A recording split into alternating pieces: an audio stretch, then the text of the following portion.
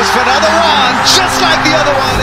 Bangladesh Sri match মানেই যেন উত্তরপাড়া এবং দক্ষিণ পাড়ার মধ্যকার পুরনো ক্যাচাল, আর সেটা যদি হয় বিশ্বকাপের মঞ্চে, তাহলে তো কোনো কথাই নেই।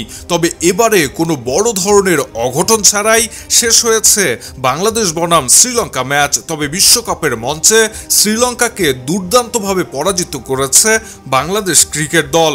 হাজারো সমালোচনাকে পাশ কাটিয়ে বিশ্বকাপে উড়ন্ত সূচনা করেছে বাংলাদেশ ক্রিকেট দল। নিজেদের প্রথম ম্যাচে শ্রীলঙ্কার বিপক্ষে দুর্দান্ত জয়ে শুভ সূচনা করল বাংলাদেশ দল। অথচ এই দলটাকেই গত এক মাস যাবৎ সমালোচনা করতে করতে একদম মায়ের দোয়া ক্রিকেট টিম বানিয়ে ফেলা হয়েছিল। সেই বাংলাদেশ দলই আহত বাঘের মতো আবারও ঘুরে দাঁড়িয়েছে। শ্রীলঙ্কার বিপক্ষে দুর্দান্ত জয়ে পয়েন্ট টেবিলে নিজেদের শক্ত অবস্থান তৈরি করেছে।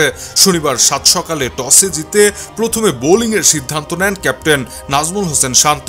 এরপর তাসকিন আহমেদ, মুস্তাফিজুর রহমান এবং রিশাদ হাসানদের দুর্দান্ত বোলিংয়ে মাত্র একশো চব্বিশ রানেই থেমে যায় শ্রীলঙ্কার ইনিংস। এরপর সামান্য একশো পঁচিশ রানের টার্গেটে ব্যাটিং করতে নেমে আবারও ব্যর্থ বাংলাদেশের টপ অর্ডার। দুই ওপেনার ব্যাটসম্যান সৌম্য সরকার এবং তানজিদ হাসান তামিম এই ম্যাচেও ব্যর্থ হয়েছেন। তারপরেও লিটন কুমার দাস, তাওহিদ হৃদয় এবং মাহমুদুল্লাহ রিয়াদের ব্যাটিং দৃঢ়তায় বাংলাদেশ অবশেষে দুই উইকেটে জয় পেয়েছে।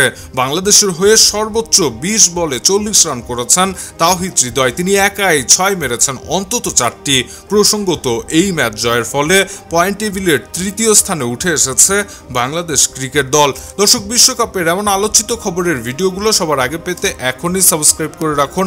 ইবিডি নিউজে সেই সঙ্গে আমাদের ফেসবুক পেজটিতে ফলো করে দিতে ভুলবেন না। কথা হবে পরবর্তী ভিডিওতে। সে পর্যন্ত ভালো থাকবেন। ধন্যবাদ।